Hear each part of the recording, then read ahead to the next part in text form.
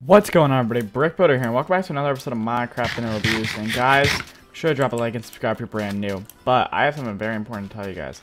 Look at that number, 5 in the top tab area, that's a bit of a problem, we've died 5 times. Let me show you what happened. So, I'm down here, you know, I'm AFK and doing my thing, and I realized, oh yeah, wait, the zombies, if there's a lot of zombies here, they're gonna jump up, and they'll eventually be able to kill me. So they managed to kill me. Thankfully, there were hoppers here, so like this armor and these tools were saved. I already crafted a new ender chest, which is where a lot of my items are kept anyway, because, you know, I don't need, like, my bow and stuff on me at all times. Now, we have managed to get back some levels. I don't think we're going to be able to make a pair of... The only things we lost were a shovel and a pants. So I don't think we're going to be able to make a shovel and pants right now, because we have to use enchanted books for it. But we have the books for it. And I'm going to make the shovel first, because I feel like the shovel is way more important. So, we're to do this right. So first you got to throw on that. Then you got to throw on that. And then maybe we can get... We can't get Silk Touch. We can't get Unbreaking on it, though. We still have to get Silk Touch. And of course, we don't have any mending books. So off camera, I'm going to be making some stuff happen in that situation. Because we do need to get some mending on our pants, which never had mending. Our shovel, which did have mending. So we'll have to do that. And then also, we got to just repair all these tools back up already. Like, they're already all half used. But today, we're going to be working on our Mesa Village over here. You know, our beautiful Mesa Village, which we have absolutely been killing it on recently. We've been doing so much work with the Mesa Village. It's going to be fantastic. I'm super excited for it. It's going to be a great, grand place, and I cannot wait for it to come closer to completion, but I am loving every minute of building this area, so we're going to keep it up. And we did recently decorate the inside of this and build some other buildings here, so we're going to be working a bit more on it, getting some more work done. And I got some pretty ideas for some pretty cool stuff that's going to be going around here. And it's going to look great when it's all done, and I'm just super pumped up and very excited for the future of this project. It's going to be great, and it's going to be amazing. I'm absolutely excited. So, what I'm thinking is we get to work on another house right now, and I'm thinking I want to get some house over here. But first, it's a good thing we made a shovel and not pants, because we are going to need to clear some of the sand back just a bit I mean, it is a little bit too small of an area for us to build in. So I'm going to do is I'm going to go ahead and clear a little bit of this back. We're going to go ahead like that. That's way too flat of an area to leave like that. We can't, you know, leave it so flat. That'll be a problem. If it's too flat, it will look just bad and unnatural. So we're going to go ahead and we're going to do that. There we go. This should give us a ton, a bit more space. Maybe not a ton, but enough to do what we want to do. So I'm going to need some acacia. Log. Where's that right there? Nice. Alright. And what we're going to do is we're going to go for a pretty small, longer style house here. It's kind of what we're going for, you know? I want to have at least a little jet out over here. Which means I will take this back just a tad bit, you know? But it'll work out okay in the end. Because I do want a little jet out just so we can have a little bit of a better shape to it. Because what's one thing we always be lacking on in this area recently. Some of these builds don't have, like this one here specifically doesn't have like a very nice shape. So we need to fix that. Okay, this is kind of long actually now that I think about it. Maybe we don't need it this long because that'll definitely be a problem. We're going to go with five. Yeah, that should work. And then we're going to throw one of those on the edge. Because if we make this area too long, it's going to be like a really weird shape. Like, it's going to be like the weirdest, like, um, long, I guess, triangle rectangular thing. Not triangular. Why would this be triangular? I don't even know. Whatever. And this is what, five? Yeah. Alright. There we go. We'll go like that, and then bump, bump, bump, and bump, bump, bump. Does that work? No. Alright. Because we want you to walk in over here. So, we gotta design the house like this. Yeah, that'll work. Because the goal is we're going to eventually have the pathway come up over to this. That's kind of what we're going to aim for, at least. Hopefully that'll work out. But let's just go ahead. We're just going to lower that down. Just a tad bit there like that. Beautiful. We're going to go for a decently low house over here. Like, it's going to be a low-heighted house. Because I don't want this one to be tall. I want this to be kind of low and kind of um, low and very, like, small but long, I guess is kind of what we're going for here. With a pretty interesting shape while we're at it, too. Because, like, as we've previously previously stated, we need the shape of all these builds to be very unique and very different, because that's what's going to make this village, like, a different thing. Like, that's what's going to give this area its own character and its own, like, style is the weird shaping that we're going for on all the different builds, which will be great. So let's go ahead. We're going to take some more red terracotta because we're going to be needing that. I'm going to just hop into here quickly and just sleep the night away before that becomes a problem. There we go. We should be good. Then we can go ahead and just hop on over. But yeah, if you're wondering how I got those levels, I just smelted some more fish. We've been using that from our AFK fishing farm. We got eight more stacks of it now. We basically have like a full double chest of cooked fish that we just have kind of in the reserve, you know? Like, you know, just so whenever we need it, we have all that food. You know, we'll never have any of that food issues again, you know, which is just some good food for thought, honestly. I mean, it might seem a little bit fishy, but I really don't think it is that fishy. What we're going to do now is we're going to go over here, and we're going to go ahead and just build this up. And this is going to be how high as it's going to be, I think. Unless maybe it'll be even lower, maybe. Once we add on a roof, yeah. Because now I just realized the windows are going to be one high. I have one high windows in this one. It's going to be a really small, cramped style, but it's going to make the inside of decorating this place really nice. That's what we're going to be going for. It's got like a very interesting shape, which is like pretty crucial to this design working the way we want it to. Do we have dark oak over here? Yeah, we do. Alright. And do we have any... Do we have some of those? Let's make that. That should be more than enough for this build. Because, I mean, we are using dark oak stairs for roofing around here, so having extra is a-okay with me. Because we're going to be using it a ton. Like, you don't even know how much dark oak is going to be going into this area. But thankfully, dark oak trees do give you a ton of wood. They give you so much wood, so that's going to be good. But now what we're going to do is we're going to throw a roof on here. We're just going to go for the semi-basic roof, and oh gosh, do we have a problem here. I might have to bump all this back by one. Yeah. Hmm. To have a problem. We're to have to put the door somewhere else. That could, It could be worse. The door can just go somewhere else, that won't really be a problem. Wait, alright, let's throw this there.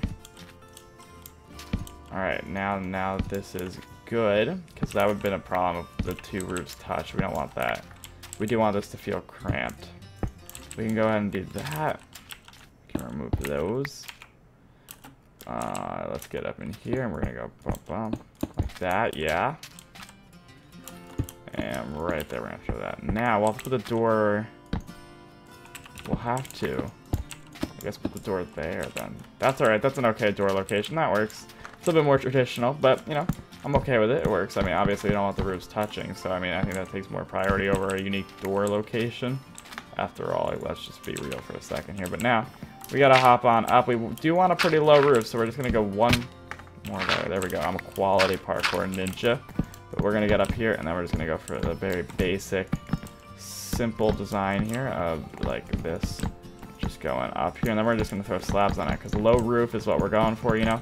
No jet out like some of the builds have on the top where they get like this extra thing. We don't want that on this one because that will mess the whole design kind of thing up. Okay, and we have just enough stairs. Beautiful.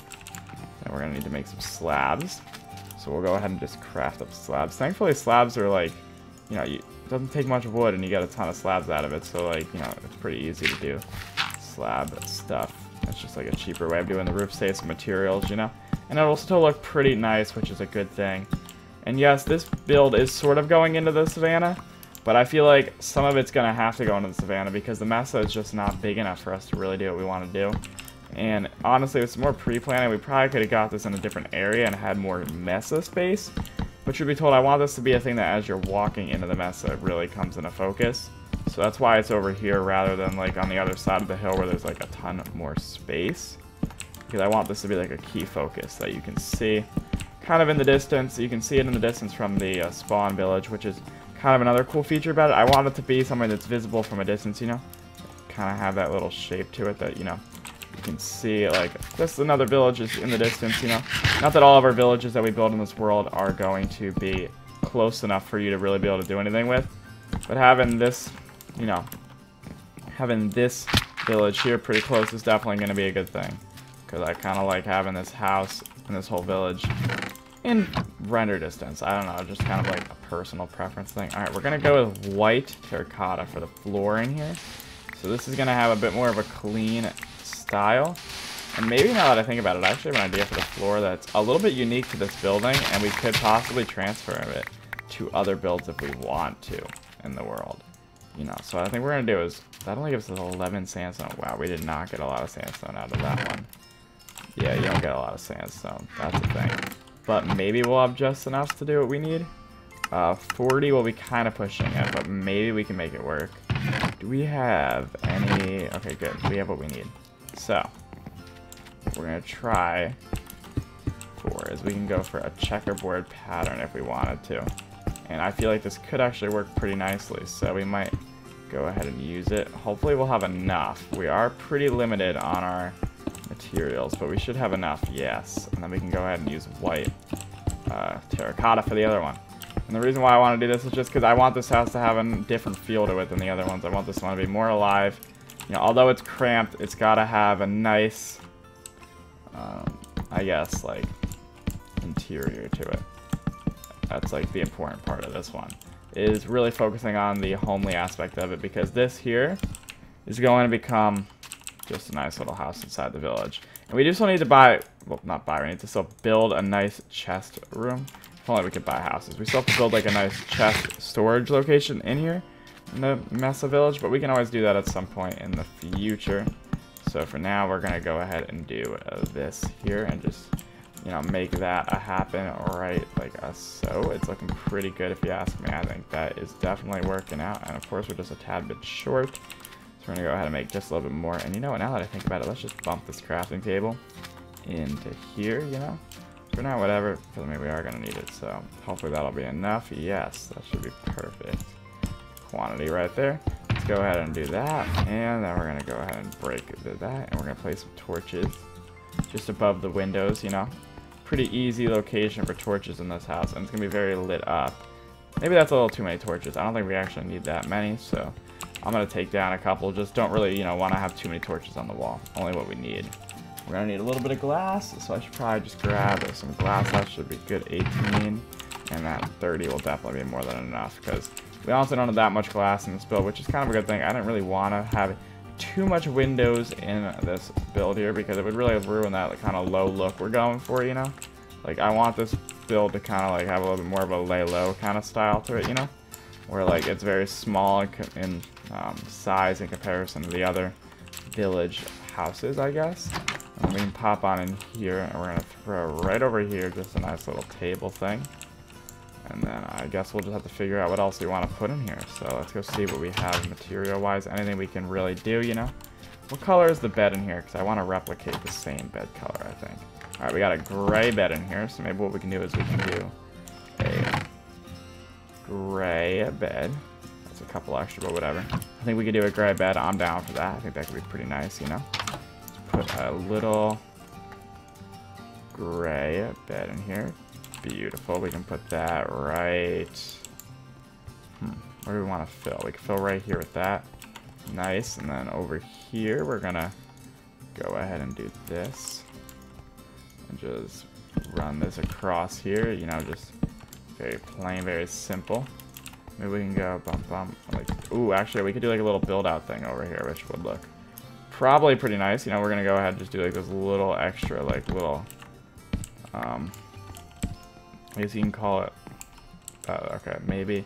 Uh, it's a little bit big, but I think we're gonna leave it, because I mean, it, it could work. And don't ask me why it's here. Honestly, I don't really know why it's here. It just is, so we're just gonna leave it. And I think that'll work. That just fills up a lot of space, which is kind of what we're going for. You know, it's got like an interesting vibe to it, I guess. You know, we can make that into a little couch area, I guess. You know, we throw a couch here with like the little signs and the wooden bench chair thing. You know, that'll work. That works. Just any way, any you know way to take up space at this point. Honestly, is just something we're gonna need. And maybe I'll throw a bit more of chair stuff over here. That could work. And then we could do in the middles. We could do one of those makeshift tables. Probably not the greatest table design, but it works. You know, we'll do that. And then what you do is you just go bump bump, you get pressure plates and you stick them on top. Works good if you ask me. I'm gonna remove that, remove that, remove that, and remove that.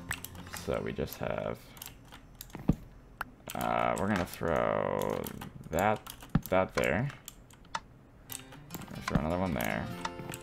And I'll do double here, obviously, and then another one there. Boom. Looks pretty good if you ask me. I think that table definitely works, you know, in the nice little corner back here so they can play cards or whatever they want, this family here. But honestly, that's going to wrap it up today. We just built this nice little Mesa um, village house here, and we also got back on our feet, which was pretty important because, like, you know, we did die, so we got our shovel back, and we got back on our feet working again onto the Mesa project here. So if you guys did enjoy, make sure to drop a like and subscribe if you're new to the channel. Make sure to check out my Twitter and Discord. But I will see you guys in yet another video. Thanks so much for watching. Bye!